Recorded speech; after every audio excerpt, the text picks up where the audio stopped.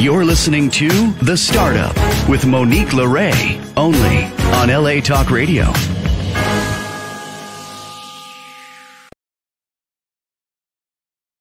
Uh, how's it going, Los Angeles? It's The Startup with Monique LeRae, and I'm Monique LeRae.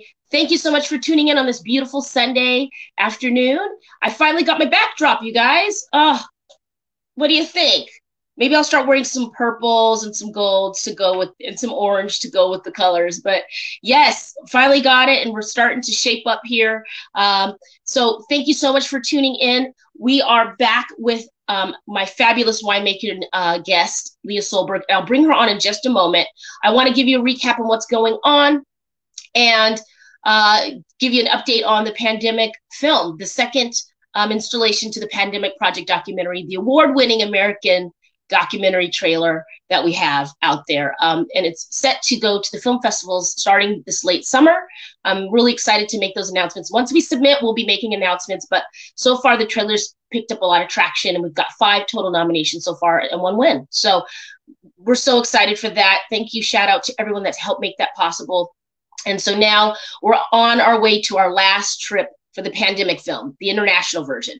And, you know, the station owner, Sam, was asking me behind the scenes, you know, a little bit about like in depth, like, what do I do when I go to these countries? Which I love that he asked me that. And people see me posting in other places and think it's just this vacation I'm on. And it really isn't, guys. It is totally opposite from a vacation. Although I'm blessed to be able to go to these places, it's really hard work fundraising, um, getting into the countries, getting the interviews, um, all the COVID tests that I have to do. Um, it got to the point recently with my passport that um, they took my passport, and I won't tell you what country because you'll have to watch the film. Um, but you know, they took my pa- passport and walked off, and I remember thinking, all my phones are dead what's going to happen? Like if i'm pulled to the side and i need to call my lawyer or something. But you know there was nothing wrong. I mean i just uh, comply to all the searches and answer all the questions and send them to my website. You know there's um you know a blueprint of what i've been doing for the last two and a half years. So it's all out there and they can easily look me up. But um, I'll, I'll, save the story from when I came back from the Middle East, going through uh, immigration. That was interesting um, coming back home, actually. But uh, anyway, I wanted to let you guys know we're on our last final leg of the trip for the film. So uh, I leave in two weeks um, to Iceland. Well, I'll go to the East Coast first, shoot up to Iceland, um, then shoot down to Ibiza, Spain. Even though we've already covered Spain, Ibiza is a connection for me to Casablanca, Morocco. And then from Morocco, uh, Ghana, you know, Accra, Ghana, and then down to uh, Johannesburg, South Africa. Now, those are the plans, but things change, guys, on the road. So hopefully, um, I'll be able to get into all those countries and and and talk to some people and some business owners and round out this film. And then I'm home for the summer. We have a lot of events and things that we're doing in the wine field and the wine business. And speaking of, I have Leah Sullberg, my one of my dearest friends and winemaker, here with us. So let's bring Leah up. She's back, hey. guys. Hi. Live and in in sort of the studio. Uh, a little bit yeah, a, a, little bit better than last time when we were like, oh, I'm outside and inside and trying yes. just to get good reception. So, um, you know, well, yeah. It's, it's been fun uh, navigating these last couple of years, you know, uh, with COVID and stuff and, and trying to do these kind of um, formats and platforms and and yeah. how to get that done. So thanks for having me again. By You're the way, happy Sunday. Yes. Well, happy Sunday. Yeah, you know, uh, people who watch my shows um, know that we do shows in the car. So, I mean, for the better part of 2020 uh, or 2019 and 2020, I was in my car at a Starbucks around the corner from my house because that Wi-Fi was so strong, and I would always just go there, park my car, do my show because I knew their their Wi-Fi was stronger than mine. I was up in the hills, and my Wi-Fi was not the best, and it just was what it was, you know. And this is called the startup, and you make it work. I mean, I think that we have to just take our hats off to entrepreneurs that they're in the field these days, multitasking, not checking into an office necessarily, raising children, and making it happen you know? And i think we saw that with you last week or two weeks ago it was right? Right right. And you know it's it's you know, being an entrepreneur is um, really, you know, it's hard work, but it's also so rewarding. And, um, you know, just on that note, I, I was a part of something. Yesterday was National Armed Forces Day. I don't know if everybody's aware. Um, and I was a part, yeah, and I was a part of a, a, a fundraiser gala. Um, it was, it's called Northwest Battle Buddies, you know, and it's just like, um, just just being able to be an entrepreneur in this country, you know, and having our freedoms. And I mean, just my hats off to all of our soldiers and veterans and people that, you know, get behind, um, you know, be, fighting for our freedom in this country. I just, I don't think that, um, we could ever thank them enough because I certainly wouldn't want to do it. And, uh, you know, it's unfortunately a necessary thing still in our society at this point, you know. Yeah. Hopefully, fingers crossed, you know, in the future there won't be a need for military and and war and and all of these things. Um, but right yeah. now it's it's a necessary thing and um, yeah so i was lucky enough to be a part of such a great event last night and it's called northwest battle buddies and if anybody's looking to get behind a great charity to support this is it i mean if you like dogs and puppies. Oh my gosh. we love dogs and puppies. I mean, hello. puppies everywhere. I had puppy fever. So yes. um, what they do is they go in and they um, take uh, dogs from either rescue shelters or um, donations, and and they they do six months of training with these dogs for veterans that come back from the war. And like one in three veterans, I didn't know all of this until last night suffer from PTSD. And I don't know if people know what PTSD, uh, a quick um, mm-hmm. uh, uh, definition is an anxiety disorder um, that you oftentimes will get after a traumatic event, and it causes you to live in horrible fear and anxiety and depression, and it's hard to even function. And it's like our our soldiers have gone out there and done these things for our freedom, and then come back, and then they're suffering like this, and yeah. we just put them on medication and hope it goes away. And it's like this is such a great thing that they're doing with these dogs not only giving the dogs purpose you know and and, and you know like a, a, job. And they they thrive at and they do such a great job but these families you know that kind of were relying like i heard this over and over again throughout you know the evening you know they relied more on their families um, to get them through their moments of like I need support. And so yeah. their families' lives were being, you know, affected as well. And um, having these animals there just to like unconditional love and, you know, wow. they're supporting each other. It was just, it was so amazing. And I have to give a special shout out because I think like the, the, like, cherry on top was the Cowlitz Indigenous um, community last night they donated $300,000 to Whoa. this. Uh, yes, $300,000. Shout out. Oh my gosh. I mean, uh, uh, the, um, her name is, uh, Patty Kins, Kinswa Gazer. I'm, I'm sorry if I butchered that.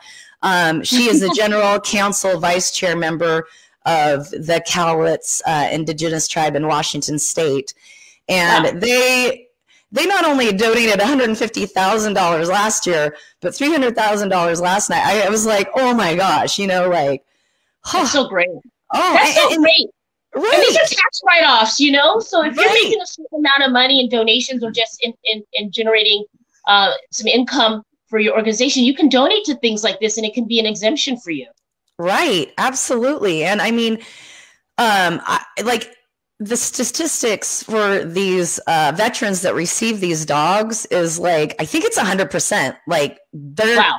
you know from going to from being in the darkest place, like having uh, an an out plan. You know, like I'm done. You know, I, I have an exit plan. I mean, eh, like every single one of these people, and I think they've done almost like 200 dogs at this point. Last night, 26 veterans. There's 75 on the waiting list right now. 26 got taken off. It was just like that's this 26. is great. Right. I mean, it was just such a magical night to be a part of. And so, yeah, you know, we've been doing you're a lot of charity events. from this. Right. So uh, not only are you a, a fabulous mom and partner to your partner and winemaker and traveler. You're also philanthropic and you love the animals. And yeah shout out to the to the veterans. My grandpa was a merchant marine um and he was old school you know real old school. Right. he's been he was in three three different wars and he um you know, you're right. They don't get enough recognition. And I think when you travel and you really see how good we have it, even though this was the week from hell for a lot of people. I mean, right. everything that uh, there was so many, so much bad news this week, you know, and, and as entrepreneurs, you know, we have to swim these waters and figure it out, but we can't do that without a safe place to be.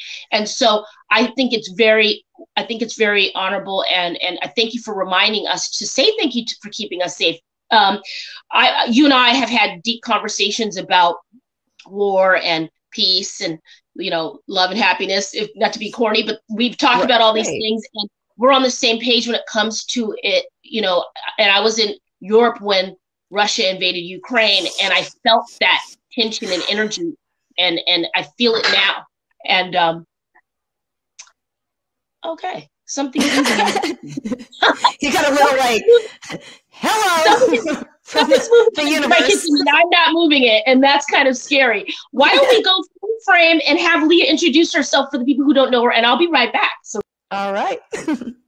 Well, hi there, everyone. Um, I am Leah Sullberg from Michael Sullberg Family Wines. Um, we're a second generation uh, winery.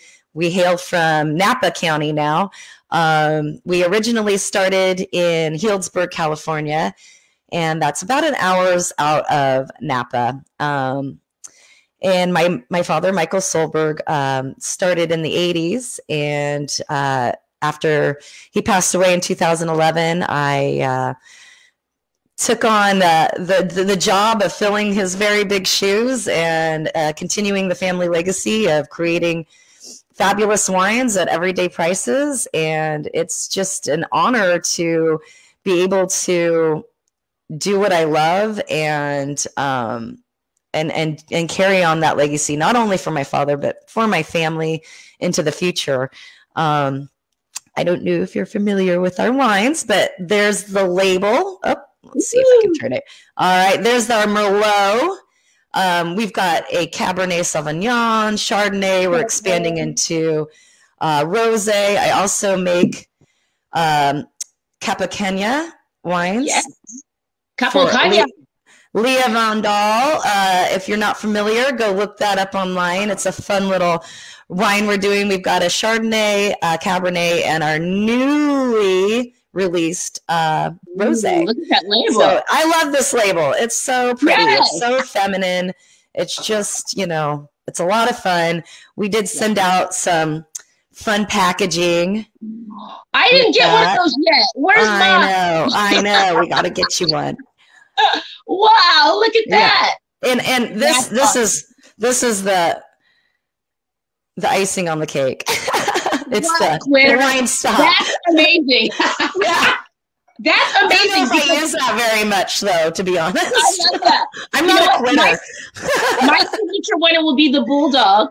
Um, Lee and I are working on a wine caterers uh, limited edition wine coming soon, and she and I have talked about it. We're going to work, but on the top of my wine bottles will be this fabulous thing. Because if you know me, you know I love bulldogs. So, congratulations on all of this because you guys, we touched on it on when we were kind of doing uh, Leah's interview. She was kind of on Man on the Street, you know, mm-hmm. kind of rugged interview that we had a couple weeks ago. But we had a really we started a really great conversation and this I, am calling it my summer of wine you and i offline spoke about it like i'm going to sit still from july to september locally. I mean i might go to vegas once but i'm staying i'm not getting on any planes. I'm staying here. I'm giving myself a proper eight week grown up summer right? I'm going to go do things around la i've never done you know being born and raised here because i've always been working and running around. So with that summer of wine is going to be you guys are going to see a lot more posts on at the wine caterers at michael sullberg family wines. There's going to be more um, wine placement in the area and just going to engulf myself in this brand that lee and i have been working on for so many years and i got sidetracked with the pandemic and other horror stories so you know right. i mean girl what is going on do you think that people are going to drink more wine, even though we're having a glass shortage? What's what's your prognosis for this summer well, wine that we're going to do? You know, I was looking at that. Um, millennials are the fastest growing um, uh, market in wine drinking. So that's they're not the biggest, but they're they are the fastest growing. That said, um, I do think that wine is going to become more and more um, a staple for them as they get a little bit older. You know, I think a lot of people right now are into sparkling or seltzers. Um, you know, not to be named, but the pain of my existence. They're not paying for sponsorship here yet. Right, right, right. um, but uh, no, you know, uh, and I get the draw behind the seltzers and and the sparkling. It's you know refreshing, especially during you know the hot months. Um, I, you know, I think that maybe the wine um, world needs to get a little bit more creative in how it's bringing the wines to the millennial market, maybe yeah. even uh, platforms where we're creating cocktails with wine, but are a little mm-hmm. more vivacious, have some bubbles in there, uh, maybe yeah. some fruit, you know what I mean? So, um, yeah. there, there, these are all things that I think about and mulling them around in my mind because, uh, you know, like a lot of the southern um, states, Kansas, for example, um, they're kind of slowly getting up their speed in the, the the wine market and their you know their their love of wine. I'm not saying they don't love it, but it's not maybe their first go to. You know, maybe more of a a whiskey or something like that. Um, yeah. But we're yeah. working on it. We're working on it. You know, you're right. I think it, it, the word vivacious is right on brand. TikTok right. S, shout out to TikTok. Holler at us. We'd right. love to collab. Leah dominates on that space. I need to get my ass in gear over there. Um, but you know, it's it's true. Vivaciousness, bubbles, fun packaging, refreshing. Mm-hmm. Those are things that the wine we have to get a little bit more um, gnarly. I'm just going to use that. I like that word. We're going to get a little more gnarly with our packaging and our branding. And I think as we peel the layers back with this pandemic and the this uh, supply, you know, the supply and demand pick up and the shipping issues are, are hopefully navigated quickly. Yeah. Um, you know, speaking of gas, class. Now, listen, I just, I just don't drive. I just, I'm not doing it. But, you know, speaking of, we, we touched on it last time and I just, it keeps coming up for me. I really think that we need to get on, I'm not going to give this brand any shouts out until I get a um, sponsorship, but um, this, this particular aluminum this this level of like I like the way this looks, Leah. When will we see? I'm putting you on the spot. When will we see a Sullberg uh, manifestation in this in this way? Do you think? Um, you know, uh, I think as um, things pivot more and more, and the need for um, different packaging becomes more relevant, which I believe it will be. Um, either that, or we're going to have to go back into uh, U.S. made bottles and, and, you know in-house stuff um, more locally. We're not like you know going overseas to have that brought to us. We're actually doing it here in the us that would be nice. Um, yeah. and that's not across the board. That's just like 90% of the market. Yeah. um, you know I, I think it was just a, as it develops um, and as it makes sense um, you know, we talked about the uh, like the Capri Sun juice kind of packaging for you gotta wines. Have. Um, we have to do that. Let's test that out. Let's go. Right, right. It's all about you know getting the um, the manufacturing tools in there uh, for it to be put. You know, right now we're set up for glass. We're not set up for that particular packaging.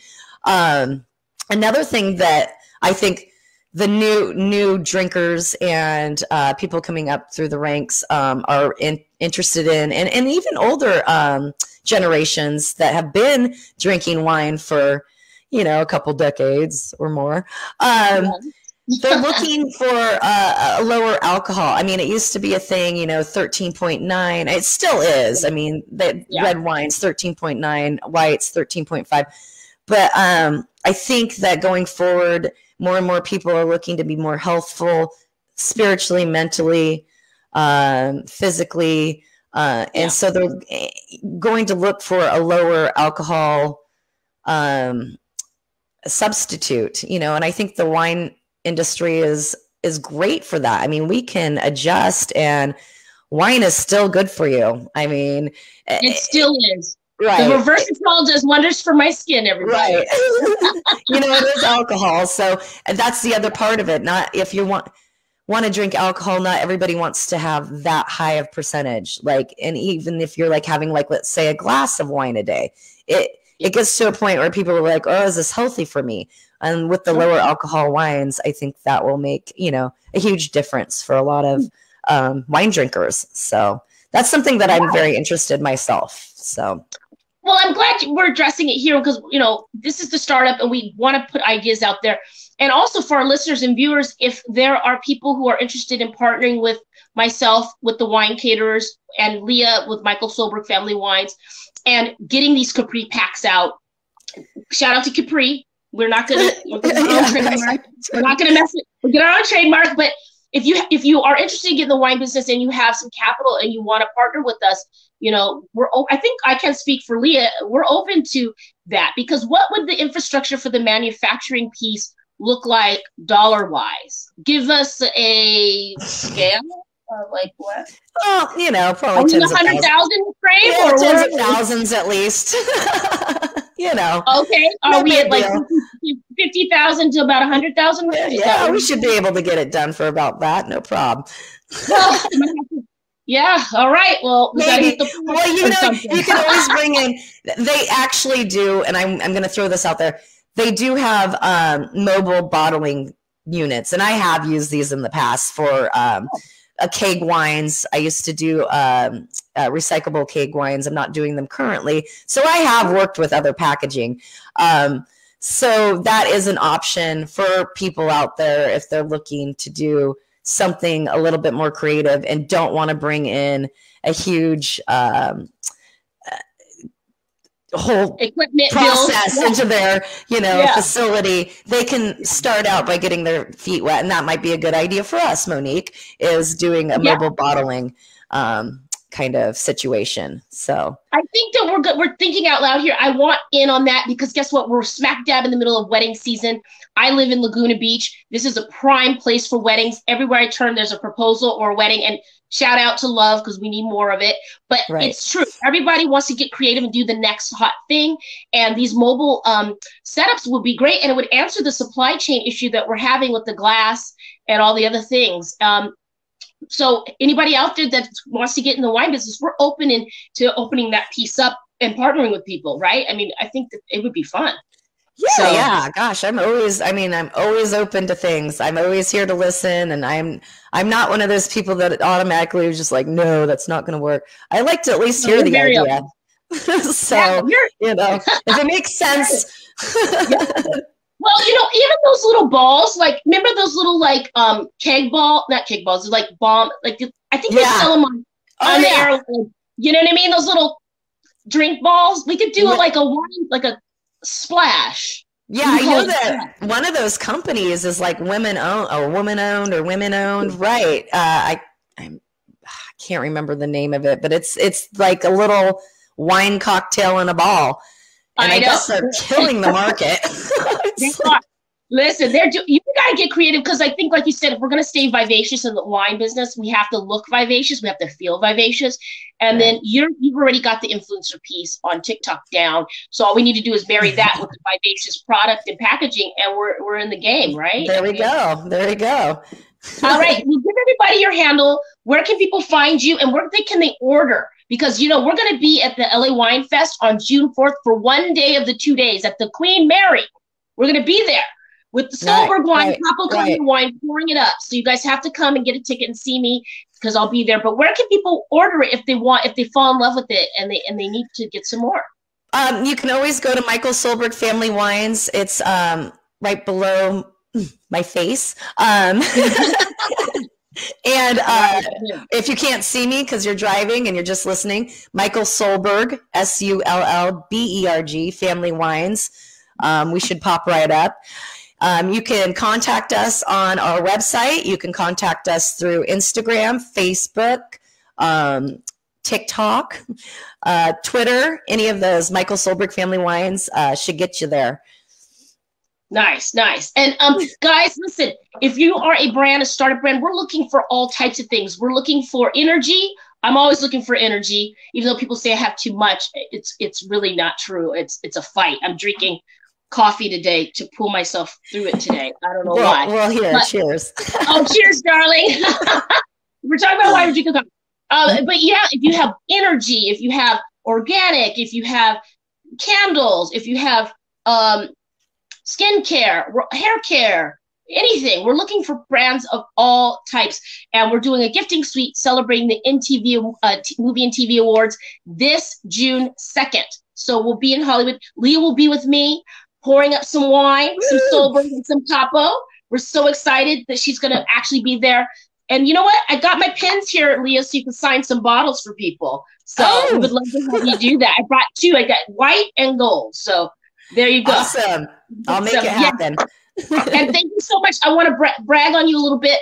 Uh, she donated a bunch, a, a, bunch of cases of wine to the Cam for a Cause charity this last week, and a vacation package along with her autographed limited edition wine went for forty five hundred dollars to benefit that charity last week. Yay. Good job, Yay. Leah. Thank you so much. You added so much value, and it's to help epilepsy research and in honor of Cameron uh, Boyce, the D- Disney uh, star, and above all, just an amazing person. I got to meet his family and his friends, and wow, the love in that room. You could, it almost felt like he was there, and you know, it was just a, it was a good look. And thank you so much for for doing that. I think it's going to help a lot of people.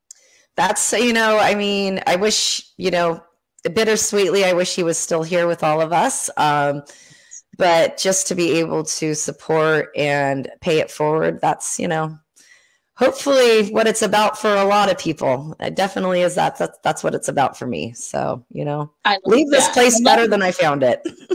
leave it better than you found it. And it gives everybody a really good glass that compare wine that compare well with the glass is, is the slogan sometimes. And, um, all right. Well, um, Leah, thank you so much for being here. And I will see you in about two weeks time, darling. You'll be I will see you then. Oh, finally, I'm to hug you. Right. When's the last time I saw you in person? Was it before the pandemic? No. It might have been. I don't know. It's been a minute. It hasn't been two years, has it? I feel like I was up there to see you. I know. I feel like we saw some. Or, mm, it might have been California. Oh my god! Badass. All right. Badass. I'll give you a big old hug, darling. All right. I can't wait. All right. Love much you. love. Take care, everyone. All right, Leah. All right, you guys. Thank you so much for tuning in. Um, I want to give you my handles too if you haven't followed me on Instagram yet at the startup with Monique Leray, um, at Monique Leray um, Stinson on Instagram, and it's uh, spelled right there. um, and then also, if you guys want to follow me on my media page where you can see all the events and placements and things at Cap Aquarius Media, that's C A P Aquarius Media at gmail.com.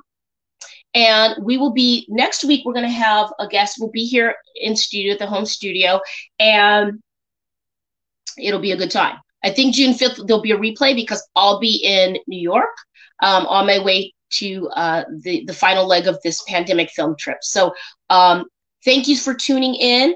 Again, if you have any pandemic stories in those areas in Iceland, Ibiza, Spain, Casablanca, Morocco, Accra, Ghana, or Johannesburg, South Africa, you can email me at capaquariusmedia at gmail.com, or you can DM, DM me um, at Monique Leray Stinson or at Cap Aquarius Media. And we would love to hear those stories. And we're looking for specifically entrepreneurs, survivors. Um, we're leaving all the politics to the politicians on this one and just focusing on the human interests and um, humanitarian stories, you know, in this historical time. So that's what the film is. And you haven't seen the trailer, guys, go on YouTube and type in four words the pandemic project documentary and give us a like we would love to hear your feedback on the, tra- the award-winning trailer. Um, and that's about it. So listen, all the crazy news uh, this week that we've heard, everything feels like it's coming from every direction, and I know how hard it can be. Please stay focused on the good that we have and all the blessings we have, and please stay focused on your brands. Okay, we need them in in the world. So just do one good thing every day for yourself do one good thing for your brand every day and just keep focused because believe me i've been through it all and um, here we are still so What will you start up today? I look forward to see you guys next weekend. Be good to one another and like this video, okay? All right. See you guys next weekend at 4 o'clock Pacific Standard Time. Be well. Bye. You're listening to The Startup with Monique LeRae, only on LA Talk Radio.